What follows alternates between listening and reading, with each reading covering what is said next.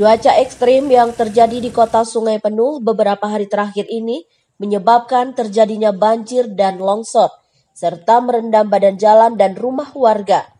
Juga mengakibatkan jebolnya jalan penghubung antara Desa Tanjung dan Desa Paling Serumpun, Kecamatan Hamparan Rawang.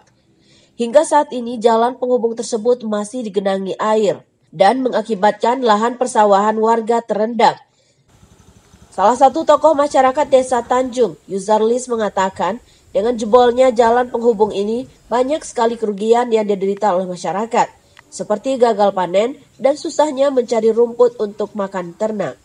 Jalan uh, penghubung antara uh, Desa Tanjung dan Desa Pelus Rumpun ini yang merugikan banyak uh, banyak uh, masyarakat, di antaranya yaitu uh, tanamannya yang baru bisa mau panen, oh setelah jebolnya tanggul ini tidak bisa jadi panen.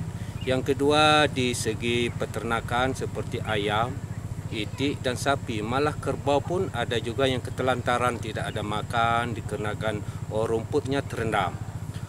Kami selaku masyarakat dan saya atas nama Yuzarlis Patipasa selaku pemegang oh, pusaka adat yang bergelar oh, oh, Patipasa sangat mengkhawatirkan tentang masyarakat tiga desa khususnya dan masyarakat Hampara Rawangnya. Dan imbasnya balik seluruh masyarakat desa uh, tiga desa Tanjung ini sangat sangat dirugikan ini dan kami mohon kepada bapak-bapak ASN pejabat yang membidani yang membidangi di segi oh, pengairan di PU itu supaya melihat langsung tentang oh, tentang jebol ataupun patahnya uh, jalan penghubung kami ini.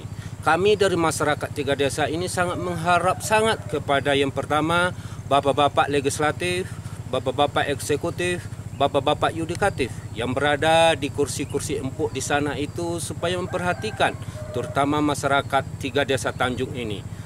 Sekali lagi kami tekankan apakah masyarakat kota Sungai Penuh pada oh, umumnya tidak mempunyai dana tentang masalah jebolnya tanggung tanggul ataupun jalan kami ini? Karena oh jalan kami ini sudah patah ataupun sudah lebih dari empat bulan kalau tidak salah itu.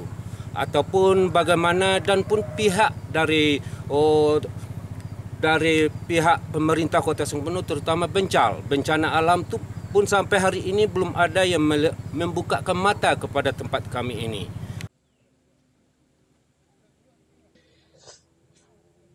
Untuk itu, beliau mengharapkan kepada pihak berwenang dalam menangani masalah ini agar secepatnya turun ke lokasi jalan yang jebol ini.